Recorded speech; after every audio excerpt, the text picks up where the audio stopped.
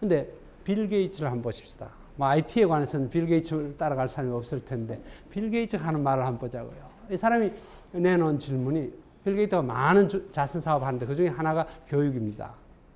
내놓은 답이 그냥 우리가 장학금 주는 게 아닙니다. 우리나라 많은 경우에 보면은 장학 사업 한다, 교육 사업 한다면 되게 장학금을 많이 대주는 건데 그게 뭐 나쁘다는 건 아니지만 이분은 근본적인 교육의 문제를 해결하자. 여기 더 초점이 맞춰져 있어. 가난한 학생에게 뭐 장학금 많이 주는 것도 중요하지만 교육의 근본 문제를 해결하자. 이런 식으로 가는데 이분이 내는 첫 번째 질문이 이겁니다.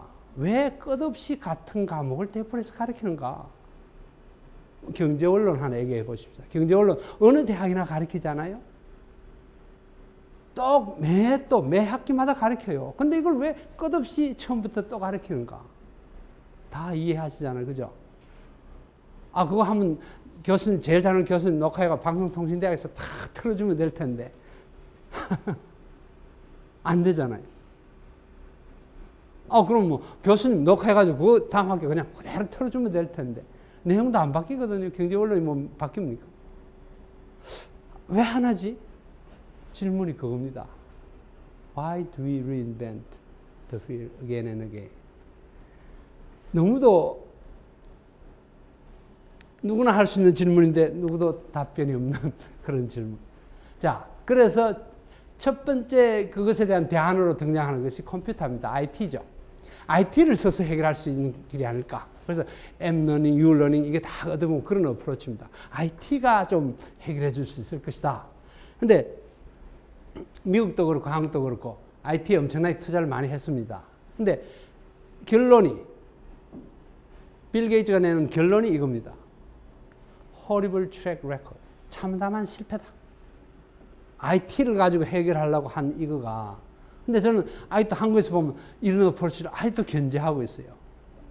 스마트 교육 해가지고 2조 2천억을 정부가 초등고에 투입하겠다. 뭐 이런 게 내용적으로 따지고 보면 전부 다 IT를 가지고 뭐 디지털 교과서를 만들어서 전자교탁에 뭐 아이패드를 가지고 뭐 전부 그런 거예요. 근데 빌 게이트의 말을 빌려서 말하면 그건, 그건 아니다.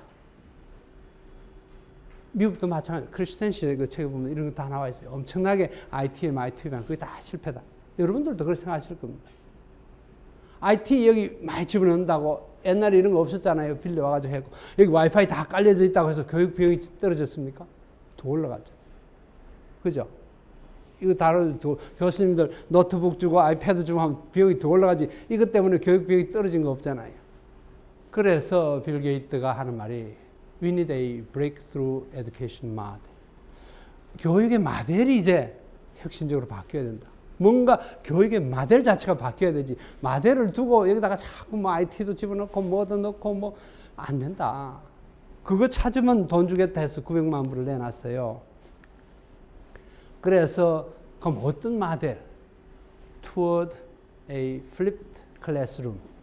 뒤집힌 학습 쪽으로 가는 그런 모델을 내놔야 된다. 이렇게 키워드가 그겁니다. 즉, 파운데이션 자체를 갈아치우자. 갈아 뒤엎고 거기에 맞는 IT를 넣어야지 foundation을 놔두고 자꾸 IT를 집어넣고 이래서는 참담한 결과 실패로 끝났다. 이제는 파운데이션 자체를 완전히 갈아 뒤엎고 거기에 맞게 IT를 써야 된다. 맞는 말이지 않습니까? 자, 한번 보십시다. 그게 어떻게 이론적으로 설명이 될 것인가. 우리가 잘 아는 이제 교육에서 IT, 한번 금방 여러분 생각해 e-learning, 그죠? 온라인 러닝, e-러닝, 뭐 M-러닝, U-러닝 똑같은 겁니다만 IT를 굉장히 강하게 쓰는 것이죠. 그래서 IT의 impact가 점점 올라가는 것입니다. 근데 문제는 IT를 점점 강하게 쓰면 쓸수록 passive learning 쪽으로 간다는 것이죠. 맞죠? 강의실에서 그래도 침 튀기면서 이렇게 하는 거를 녹화를 딱 해가지고 그냥 틀어줬더니 보면서 졸립잖아요. 강의실에서 자는 거하고 아이, 어? TV 보고 자는 천지 차이. passive learning이 된다는 것입니다. 문제는 거기 있는 것이죠. 자, 그 다음에 또 하나 우리가 굉장히 필요한 active learning이 필요하다고 다 이해하시기 때문에 PBL이나 뭐 이런 걸 한데 문제는 passive에서 active로 가는데 여기는 IT가 전혀 소용이 없습니다. 소용이 참 필요를 하지 않습니다. 그냥 PBL은 PBL이지 거기 뭐 IT가 있어야 PBL이 된다 이런 건 없거든요. 그래서 어느 대학이나 가보면은 이 두 개가 따로 놀고 있습니다. e-learning department는 되게 IT 디파트먼트에 속해 있고, 왜? 이건 그냥 IT를 틀어주는 거니까. 승용한 대학교 가면은 강의실마다 자동 녹화가 다 되게 돼 있어요. 그냥 교수가 들어가서 버튼만 딱 누르면 저기 리모트 센싱이 달려가지고 카메라가 자동적으로 따라다니면서 녹화를 다 해서 나올 때 딱 누르면 이게 바로 서버에 올라가서 학생이 그걸 볼 수 있게 돼 있습니다. 근데 그거는 IT 디파트먼트에 속해져 있어요. 이 기술은. 왜? 그건 전뭐 IT와 관련된 거지. 교수가 항상. 요거 CTL은 또, CTL은 어, PBL 한다고 하죠. 완전히 이 두 그룹이 뭐 하는지 몰라요. 왜? 정부가 돈을 이렇게 주기 때문에 그렇습니다. 이러닝 하라고 돈을 줘서 이러닝 센터를 만들게 하고 교수 역량 강화 산업이라고 그래서 이걸 주면 CTL 안 하면 안 되는 CTL. 이 두 개가 완전히 따로 논다고요. 포항공대 가봐도 그렇고요. 뭐 서울대학도 안 비슷하지 않을까 싶어요. 근데 지금 이 두 개가 합쳐져야 되는데 이게 따로 노는 거예요. active learning 따로 놀고 IT 따로 놀고 이 두 개가 합쳐져서 그래야 flipped learning을 가능하게 해주는데 저희는 이 두 개가 합쳐져 있습니다. 제가 학술정보처장으로서 IT가 제 관할을 하고 있고 CTL도 제가 관할을 하고 있습니다. 저희는 이 두 개가 다 합쳐져 있어요. 왜? 합치지 않으면 이게 되질 않습니다. 따로 놀면. 그래서 제가 이걸 이 에듀케이션이다 이렇게 표현을 하는데 여러분들이 다 아는 그 e-learning. e-learning은 anytime, anywhere로 대표되잖아요. 그죠? 언제 어디서나. 이게 항상 그, 그분의 장점이에요.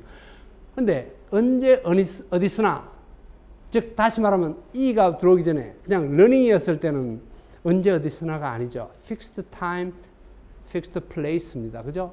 이 시간에 이 장소에 와야 되는데 e가 즉 디지털 technology가 들어오면서 이 fixed라는 단어를 any로 바꿔준 거잖아요. 그죠? constraint를 release 했단 말이에요. 자, 그런데 모든 이 비즈니스 모델은 세 가지 요소가, 요소가 필요합니다. 누가 무엇을 어떻게. 근데 learning이라는 것은 어떻게 해만 해당되는 one of three elements라 이 말입니다. 현대 자동차가 차를 만들어서 판다. 세 가지 요소가 있잖아요. 그죠? 우리 은행이 예금을 받아서 빌려준다. 세 가지 요소가 거기도 있잖아요. 교수가 수업을 준비해서 학생에게 가르친다. 세 가지 요소 거기 다 있습니다. 누가 무엇을 어떻게. 근데 러닝은 그 한 부분에 딜리버리 하는 파트에 해당되는 것입니다. 그러면 다시 말하면 컨텐츠는 fixed content. 아, 내가 준비한 컨텐츠를 가지고 anytime anywhere 했는데 why not? 여기 IT를 정시키면은 fixed라는 단어가 any로 바뀌겠죠. 그죠? any content. 왜 내가 다 준비하는데 누가 잘해 놓은 거 갖다 쓰면 되지. 맞습니까? 그리고 provider도 굳이 내가 다 provide 할 필요, 내가 다 처음부터 강의할 필요 뭐 있는데, any 프로바이더. 어, 뭐 하버드 대학 교수님도 필요하면 내가 갖다가 쓰고, MIT 교수 것도 갖다 쓰고 이러면 되는 것이지. 왜 fixed provide야 하는데, fixed provide, fixed content, fixed place and time 이래 돼 있던 거를 e를 넣으면서 점점 다 그 fixed를 any로 바꾸기 시작하면은 이렇게 되는 것입니다. 누가 무엇을 어떻게 any provide, any content, any delivery. 자, 이게 그럼 뭘 의미하는가? anytime, anywhere에서 any pace가 가능해져. any pace. 내가 굳이 다 같이 갈 필요, 일주일만 난 끝낼 수 있다. 아니, 난 3개월 필요해요. any pace로 갈 수 있는 것이죠. 전방위로 다 해결됐을 때 이거를 우리가 이 에듀케이션이라 이렇게 표현한다. 다. 이거 아까 제가 그랬 저는 경영학자니까요. 옛날에는 e-commerce라는 게 굉장히 유행했어요. 전자상거래. 그죠? 그러다 요새는 다 e-business라 그러지 e, e-상거래 하지 않습니다. 왜냐 그러면 상거래는 비즈니스의 한 부분이기 때문에 그렇습니다. 이게 전체로 확대됐을 때는 그 industry 자체를 얘기하거든요.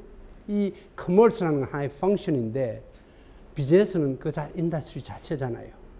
그래서 이제 이 비즈니스라 정부에도 예전에 IT가 처음 들어왔으면 조달청에 많이 들어와요. 하도 부정이 많으니까. 그래서 이 펄처싱이라고 굉장히 하다가 요즘 이 가브먼트를 하지 이 펄처싱 하지 않습니다. 왜? 전방위적으로 다 이가 들어오기 때문에 굳이 펄처스만 얘기할 필요. 의료 부분도 마찬가지로 이 보험이 되면서 돈 받는 게 병원 환자 나서는 것보다도 돈 청구하는 게 더 복잡해졌어요. 뭐 본인 부담이 얼마, 뭐가 얼마. 그러다 보니 e-billing이 엄청나게 필요를 했었어요. 그러나 이제는 e-billing을 넘어가 가지고 이 헬스케어가 되는 것입니다. 그죠? 저는 똑같은 논리로 e-Learning이 이제 function에서 industry 전체로 가야 되기 때문에 e-Education이다. 뭐 카이스트가 에듀케이션 3.0 이거는 여러분 알죠? 1.0, 2.0, 3.0 왜뭐 그런 개념에서 이제 한 것이고 제가 이 에듀케이션 하는 경리학적 측면에서 다른 모든 분야처럼 이제는 교육 전체가 not just learning part only. That's one of three elements. 그래서 이제 우리가 이걸 이 에듀케이션이라 해야 그래야 이런 개념이 나온다는 거죠. Anytime, anywhere, any pace, any provider, any content 이런 개념이 나올 수가 있다.